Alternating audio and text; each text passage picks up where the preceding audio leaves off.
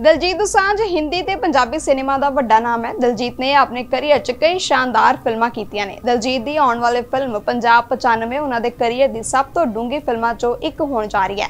ਪਰ ਇਸ ਫਿਲਮ ਦੀ release date ਨੂੰ ਲੈ ਕੇ ਵਿਵਾਦ ਜਾਰੀ ਹੈ। ਜਸਵੰਤ ਸਿੰਘ ਖਾਲੜਾ ਤੇ ਬਣ ਰਹੀ ਫਿਲਮ ਪੰਜਾਬ 95 ਤੇ ਸੈਂਸਰ ਬੋਰਡ ਵੱਲੋਂ ਸਖਤੀ ਵਰਤੀ ਗਈ ਹੈ। ਜਾਣਕਾਰੀ ਮੁਤਾਬਕ ਫਿਲਮ ਪੰਜਾਬ 95 ਦੇ ਤਕਰੀਬਨ 85 ਸੀਨਾਂ ਨੂੰ ਸੈਂਸਰ ਬੋਰਡ ਨੇ ਕੱਟਿਆ ਦੱਸਦੀ ਹੈ ਕਿ ਜਦੋਂ ਤੋਂ ਇਹ ਫਿਲਮ ਪੰਜਾਬ 95 ਸਾਹਮਣੇ ਆਈ ਹੈ, ਉਸ ਸਮੇਂ ਤੋਂ ਹੀ ਵਿਵਾਦਾਂ 'ਚ ਚੱਲ ਰਹੀ ਹੈ। ਇਹ ਫਿਲਮ ਮਨੁੱਖੀ ਅਧਿਕਾਰ ਕਾਰਕੁਨ ਜਸਵੰਤ ਸਿੰਘ ਖਾਲੜਾ ਦੇ ਜੀਵਨ ਤੇ ਆਧਾਰਿਤ ਹੈ, ਜਿਸ 'ਚ ਜਸਵੰਤ ਸਿੰਘ ਖਾਲੜਾ ਦੀ ਭੂਮਿਕਾ ਦਲਜੀਤ ਦੋਸਾਂਝ ਨਿਭਾ ਰਹੇ ਨੇ। ਦੱਸਦੀ ਹੈ ਕਿ ਦਲਜੀਤ ਦੋਸਾਂਝ ਇਸ ਫਿਲਮ 'ਚ ਅਹਿਮ ਕਿਰਦਾਰ ਨਿਭਾ ਰਹੇ ਨੇ।